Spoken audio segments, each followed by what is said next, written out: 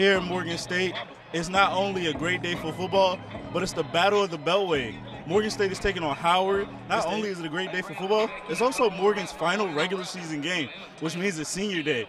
So hopefully a lot of these seniors can finish their last college career game with a W. My name is Darius Brockett alongside my co-host Julian Johnson. The Morgan Show is on the road this week. We bring our cameras to Scope Arena in Norfolk, Virginia for the MEAC 2022 tournament where we see the Morgan State men's and women's basketball team. We got part two of the NBA X HBCU stream and I'm joined by my great friends, Will and Malik. What's up, guys? Welcome, welcome, welcome. It's Morgan State's homecoming, and so far they're playing a pretty, pretty slow game here against Norfolk State. Norfolk got out to a fast start, scoring in two plays and taking an early 7-0 lead. Morgan, however, was trying to get a counterpunch, but a fumble by star running back Alfonso Graham on the one-yard line changed the game completely.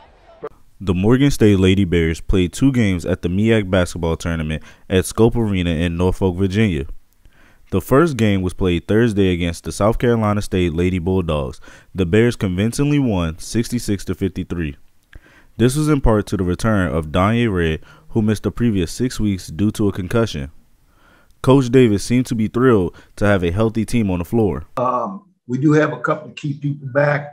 Danye Red is back, and uh, we also have Taylor uh, back. Red scored seven points and obtained three rebounds. The Lady Bears were a defensive juggernaut coming up with 29 takeaways.